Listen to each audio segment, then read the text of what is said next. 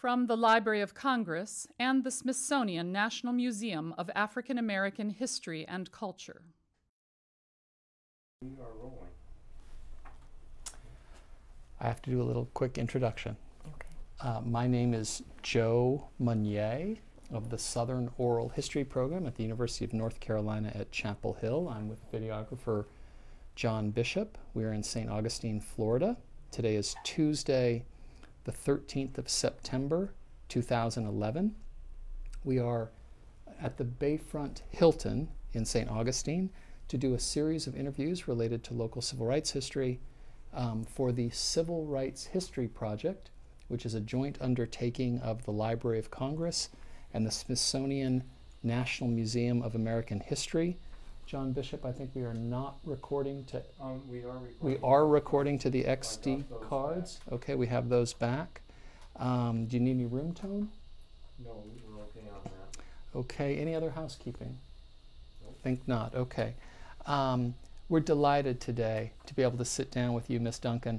Um, uh, our interviewee is Miss Gwendolyn Annette Perkins Duncan, um, and we will talk about local civil rights history and her involvements uh, that are ongoing still, even today. Um, thank you very much for your generous willingness to sit down and also your flexibility because I know we've had to juggle our day today, so thank you for that. You're welcome. Yeah. Let me ask you just to, and I think we'll probably spend about a half an hour together so we can kind of pace ourselves that way.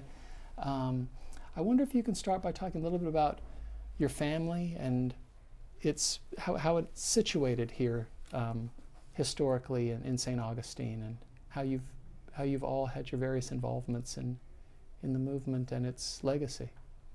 Okay, I'll start off. My name is Gwendolyn Annette Duncan, and um, I was born and raised in Lincolnville of St. Augustine, Florida, June 28, 1956. I'm a fifth generation native. My great grandfather, my great great grandfather, Thomas A. Finley, lived in St. Augustine and in Lincolnville. I was told that he moved from the Carolinas. It took many years for them to get here, and I used to often wonder from a child why would they come so far to St. Augustine? What was the driving force to lead this family to come? Finley is a surname to St. Augustine. And later in life, I learned why. But my great great grandfather, he had 13 children.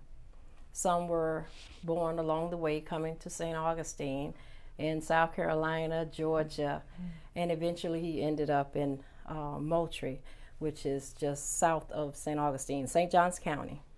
And I was told that, and we did the research, that, that he had about 13 acres and was a farmer. Now, his daughter, which was my great grandmother, Abby Finley,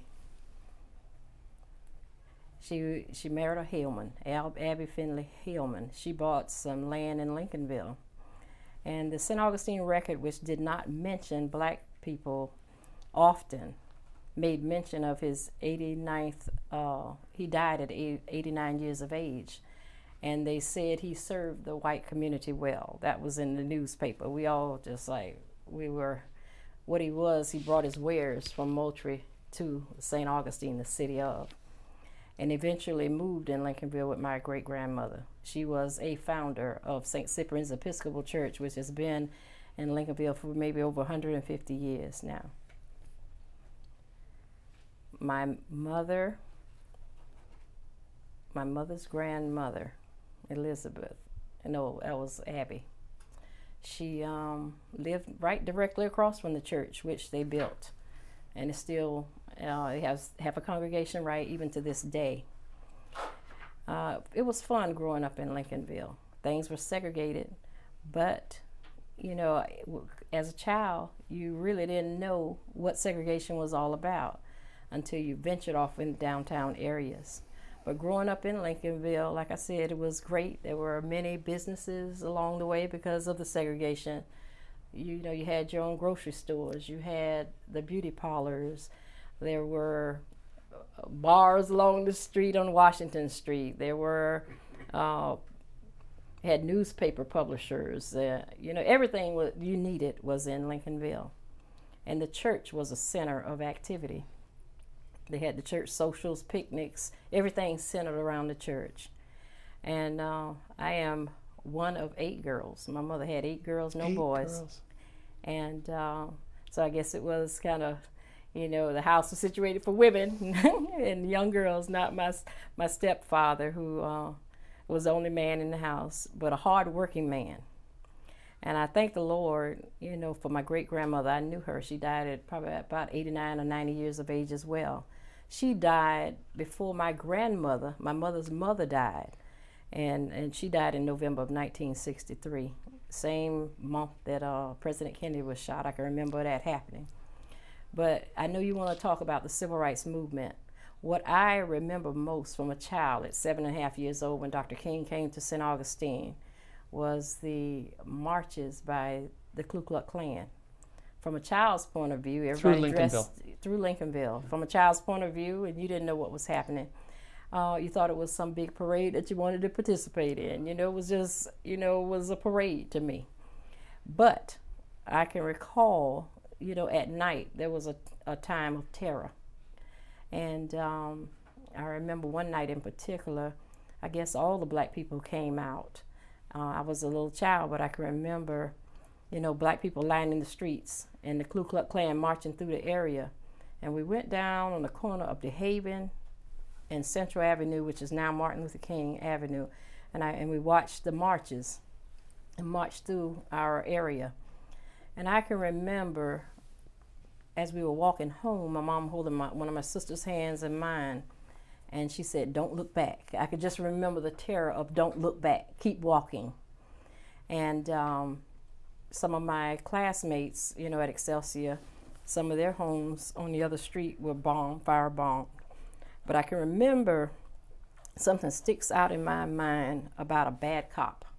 And I used to think that bad cop furniture store, they were bad people. But it, it was like this bad cop I would hear from a child's point of view. Bad cops. You didn't trust the bad cop, you know? And uh, I remember one morning, you know, my mom was on the porch, she was combing hair. And Dr. King must have, he was staying across the street to Mr. Proctor's house. And I don't know if he stayed there that night. All I know is he came across the street to ask my mom if she was going to participate in the rally or the marches that night. And that, and I used to always think it was like a faded memory. I asked my mom when I got older, did that actually happen? Because I remember it happening, you know. And she said it did. You know, you know, you have these faded memories. You know, you have to verify. But um, as I grew older, and that's about 10, 11, 12, when you had to venture off downtown, that was the only time I really experienced, uh, you know, this segregation, going in a store and people watching you like you were going to take something or steal something. And I can remember the, because everything was in walking distance. Downtown was not far away, it was less than two miles, less than a mile. But I can remember the doctor's building in Flagler Hospital was around the corner. And the, the doctor's building on Tremonton Street, I can remember a colored sign being up on the wall when you walked through the front door. And as you, it was right to the right. I mean, I can see that sign even now. But the memory is I can also, you know, remember it coming down. But we would have to go to the right and go around to the back of the doctor's office. And there was a straight hallway when you walked through the door that you could not tread. And I was always wondering what was down that hallway. You know, that's the way I wanted to go. But the sign, the colored sign, pointed to the way that I should go. But I can remember that sign coming down, and although they painted over where that sign was, the spot where it was was still, it was, you still could see the spot. So when it came down, I thought, you know, and I took my sister, one of my younger sisters, to the doctor because my mom, we were working, and my stepfather as well. But I had to take her to the doctor's office because although I was a second from the oldest, I, I was given a lot of responsibility, I guess, because I was, my mom always said, beyond my years. And I remember I said, well, that sign is down. I'm going to go straight down this hallway, which was forbidden before. And I walked down there, and my little sister, and we entered in the doctor's office. And everybody looked at you as though you had a communicable disease. You know, when you walked through that door, I can just remember that feeling. But, um, and I went to the front, put my name down for my sister, and she needed to see the doctor, and we sat down. And to my surprise, they called us first. And I thought, oh, great, we won't have to wait that long. But then they marched us back through that office back to the back side where we used to come in the back. And if, if I followed your timing correct, you, if you're 10 or 12 at the time, hmm this is well past, of course, the passage of the Civil Rights Act. Yes. This is 66, 67, Yes. 68. Yes, yes. I couldn't remember the exact year, but I do remember the sign when it came down. And as I grew older, you know, you don't understand from a child's point of view what is happening all around you. Yet I remember uh, being in the fifth grade, and I completed my fifth grade year at Excelsior Elementary School. And in the sixth grade, we had to go, it was forced integration, so our school closed down, and we had to go to Orange Street School. And I can recall the teachers not wanting to teach you, you know, it was, uh, and the kids not wanting to sit by you. But I felt good about myself because I was not, you know, I guess I, I had some good self esteem. And, um, and I was a smart, you know, no brag, just fact. You know, I was a smart child. You know, I probably would have been valedictorian if the class, if uh, the schools remained black, you know, or salutatorian of my class. But I can remember going to being forced to go to the, these schools, and and we had to fight. It looked like uh, it wasn't nonviolence. It was, we had to fight even to eat. You know, uh, you the teachers didn't want to teach you, and uh, and you felt a sense of a second class citizen, which I never felt being in the area of Lincolnville when it was segregated. You know, but and I didn't like that feeling. And uh, so I even to, through my teen years, going to the junior high school. Uh, the junior high school didn't even have a cafeteria, so you had to walk back to Orange Street just to eat. And the white kids would form a line, you know, to prevent you from going to eat your lunch. You know, so it was a, it was a lot of violence back then. I remember in the teens, you know, in the junior high and the high school. Um, it wasn't nonviolence, you know. People were fighting, you know, just fighting just to, um, like I said, just to eat lunch, you know, because you were not wanted and they made you feel that way. You were not wanted at those schools. But Lord bless, and you know, we were able to get on and graduate even through St. Augustine High School, but you still felt that atmosphere of not being a part of the city in which you grew up in. Uh, my kids experienced it too, you know, and there is an atmosphere still here in this town. Um, Mrs. Carrie Johnson refers to it as like a, a hidden vapor, you know, uh, over this town. But I thank the Lord for the Twines. I thank the Lord for Dr. Hayling. I learned about him later in, in life as I grew up. And um, but there was an opportunity after one of my friends, Mrs. Catherine Twine, died. She she would tell us bits and pieces about the civil rights movement, and uh, I felt that because I, I I lived through it. You know, the signs being up and then and they coming down. But David Nolan, after her interment in 2002, he and J.T. Johnson from Atlanta, Georgia, Jane Billingsley Brown, she was a professor at one of the schools, I think it was Spelman in Atlanta. Uh, David Nolan, as I said, Miss Carrie Johnson, Dwight, um, I think I can't remember his la- last name, Dwight Hines, I believe it was, Sandra Parks, they all met at a restaurant, South Seas, over on the island, and they discussed the upcoming 40th anniversary of the civil rights movement of St. Augustine. And David Nolan, who is a local historian, asked me to put on my thinking cap to come up with some ideas of how we could commemorate or celebrate this event. And so when I got that email, I um, told my husband about it, and he said, yeah, "We'll help. You know, we'll we'll do what we can." So I emailed him back, and I said, "Whatever you want me to do, I'll do it. I said, we can base this celebration, this commemoration on a family reunion and invite all these people who had participated in the movement back to St. Augustine. Because in 2001, we had a family, our first Finley family reunion, in which we invited people from all around the country, you know, back to St. Augustine for a family reunion. And David Nolan took part in that.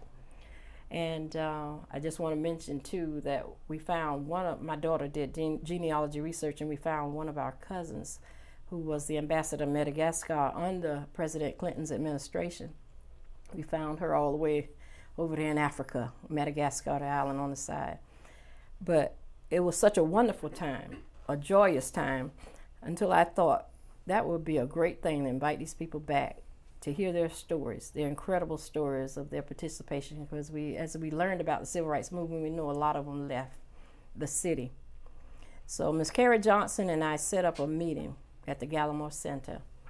And uh, we put it in the paper and invited people to come for a strategic meeting to see if there was any interest in, you know, having this commemoration, which was to take place in a couple of years.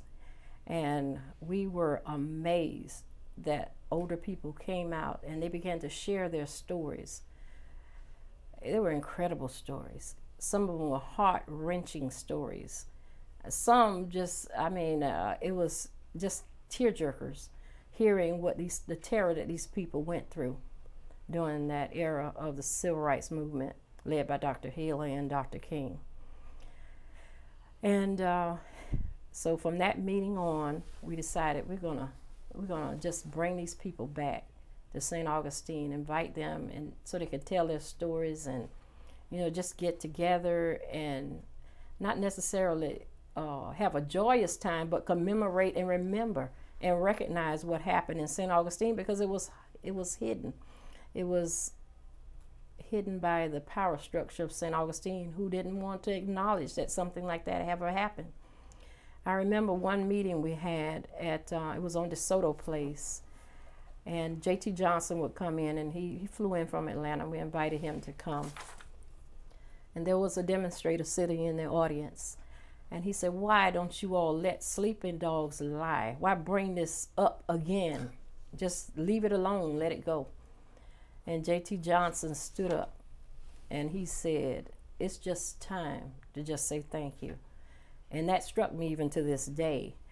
And we just wanted to say thank you. We wanted to bring these people back and just say thank you for the sacrifices that you made for us. I know it probably was disappointing, you know, to some of them who fought so much, you know, to make life better for the next generation and generations after to come back and see things had not changed much here in St. Augustine. Uh, St. Augustine at one point didn't appreciate its black history. I learned later in life that um, that the first free black settlement in the United States was Fort Mose, you know, and that made me know why my ancestors came so far and risked so much to come to this place of sanctuary because it was a sanctuary for blacks at one point. But things have changed. They're not the same even now, and it makes me want to cry. It brings me to tears to know that uh, all that Dr. Hayling fought for, all that Dr. Martin Luther King did here in this town, that some things still remain the same. But, and I will wipe my tears away, I am so thankful. I am so uh, grateful for the sacrifices made by these people. I want them to know that their sacrifice was not in vain for me. I have five children. Excuse me. I have five children, and we stress education that they must get a good education in order to survive in this world. But I have a son, uh, Zebulon Duncan, who graduated with an engineering degree from the University of Florida, industrial engineering degree in systems engineering, got a bachelor's degree, and he came back to this town seeking a job and could not find a job. He was even uh, qualified to treat to teach ge- geometry, trigonometry, all of these high math courses, but he could not get a job in this city. So he went back to school and got his uh, master's degree in building and construction and still couldn't get a job in this city.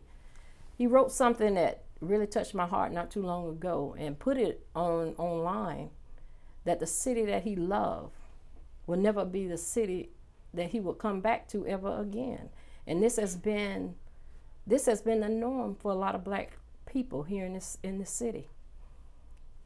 I'm just going to tell the truth, you know, about it. Um, St. Augustine needs to change. And the change is going to come, and I don't know who's going to make those changes. Maybe be the young people who come back to make changes here.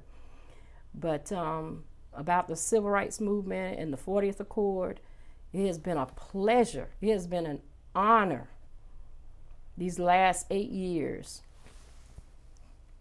to bring recognition and honor to these folks, to enlighten the public about what happened here, the struggles that these people faced,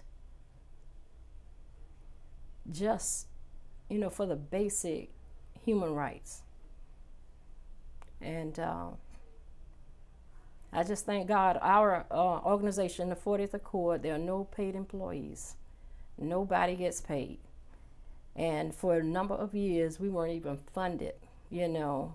But in the Northrop Grumman Corporation, thank God, they um, they decided to give us a chance, and they funded 30 historic civil rights markers in and around the city. And I thank God that some city officials allowed this to happen. And uh, some private citizens offered and gave us permission to put these markers, these historic markers, in their yard to tell the stories, because there are many, there are numerous stories of the sacrifices made by just local citizens and those who came from afar, you know, to help with this movement. And uh, I'm, I'm just um, glad to be a part, you know, of bringing recognition to people like sure. Dr. Robert Hayling, sure. Uh, the St. Augustine Four, Audrey Nell Edwards, and Joanne Anderson Ulmer we have a lady who's a she'll be 107 years old this year, who gave her name is Mrs. Rena Ayers, who gave lodging and food to the many demonstrators who came from the north, to attorneys who came from the north to defend them in the courts, and um, it is our hope that um, this knowledge of this American history is known not only in the United States but afar as well around the world. Um, so if uh, anybody watches this 50, 60, 70 years from today, they'll know that there, there was some great people that walked among us. Angels, I call them. And uh, their sacrifices will not go in vain. And I want my children to know about it, my grandchildren to know. I want everyone to know what happened here in St. Augustine, Florida.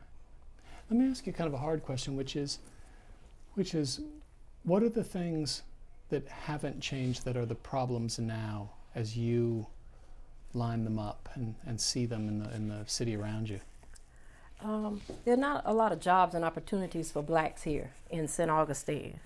Uh, if you went up and down the streets, you probably wouldn't even find, you probably could count on your hand the black businesses, and I doubt if one hand would cover it. There was a loss of jobs, um, Doubt if one hand wouldn't cover it, probably. Yeah, one hand probably right. wouldn't, uh, you know, cover those jobs. I mean, you know, those businesses. Right. Um, there's not a lot of blacks in the city government. There's not a lot of blacks even in any type of, um, you know, administration and power here in St. Augustine. To me, you know, in St. Johns County. And uh, a lot of people have just left this, this city. The young people have left and I don't know if they will return. Like your son. Like mm-hmm. your son is. Yes. Like, yeah, yeah. But he doesn't live that far away. He's yeah. right over in Jacksonville, and um, you know his wife is a, a, a professional, an internal medicine. She's a, has an MD in internal medicine. Um, I have a daughter who has a doctorate degree in physical therapy, but she she's here in St. Augustine. She has a job now, but uh, she's looking to go elsewhere. And she just came back here a few months ago from Ocala, Florida.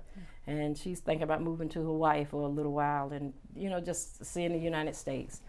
But um, if we can get job opportunities back here, I think uh, there there would be a change made in St. Augustine. Tell me, I'm, I'm interested in the in the reaction to the placement of the Freedom Trail markers. Well, um, And the range of reaction, maybe, is the right way to ask the question. well, they're like uh, as Ambassador Young said, they're like weeds growing up. Uh, you know, um, I guess the atmosphere now is better than it used to be. I can even say two or three years ago. There is a demand to know about the history. There are tourists coming in asking about the uh, civil rights movement. Some didn't even know it was a movement here, and when they heard about it through, I guess, Crossing in St. Augustine and Ambassador Young did, that brought a lot of recognition to the movement. Some didn't even know Dr. King even came, but um, I think now the with the new city manager, um, you know, the attitude with Ambassador Young coming, the um, the attitude has changed uh, a little bit, and I guess the once history that was uh, covered up by the city is now being embraced because they see, and I'm thinking because it's a moneymaker, you know.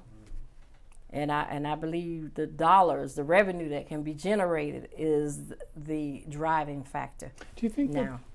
Do you think that that's ultimately the calculation that motivated the city's willingness to place the trail markers and the foot soldiers monuments rather than a more sort of a deeper moral transformation? I mean, I know you can't really know the answer for sure, but Well, um, the Foot Soldiers Monument that was a private venture. yeah. I mean, the city took credit after it was, you know, the money was there, and you know, but uh, But at least they sort of, if they weren't welcoming, at least they didn't do what all that they could have to stop it from happening. I can say that, I guess. I think uh, the wheels were turning, and then it just wasn't going to stop. Yeah. I mean, people were going to keep coming, Mm, you know, and like I said, a lot of people that gave us permission were private citizens to put those markers on in their yards. Um, Right. Right.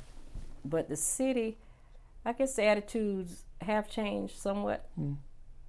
And you know, with the advent of the, um, Ambassador Young coming back here and previewing his movie, that that, I mean, really things took off after that. Just more exposure. Yes, Yeah. more, very much. It was national exposure. How do you how do you evaluate the motives of Northrop Grumman? Well, you know what? I just I'm gonna attribute that to just God's blessings because I had wrote a letter to the management there asking for funding, you know, to help with the commemorations, the recognitions services that we were having, and uh, it fell in the right hands. That's what I I say.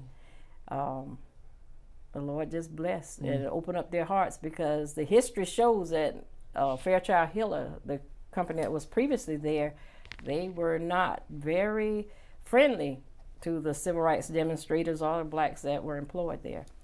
Uh, and I, I attribute it to the people coming from the north. You know, the attitudes were not the same as those that were here in the south. Joe, I'm going to pause for a sec. We're back. After a brief, just a very brief pause to um, change recording tracks. That's okay. Okay. Um, Ms. Duncan, let me let me ask you for you've been so patient to accommodate our crazy schedule today, um, and I, this history runs so broad and deep. It's it's hard to to have just a relatively small amount of time. But I want to ask you: Are there other things when you tell this story and help people understand St. Augustine? Other things that we should spend some time talking about themes, episodes, incidents. Well, St. Augustine, I'm telling you, it is a great little town. I mean, it, I always thought it was a wonderful place to raise a family because it's quiet.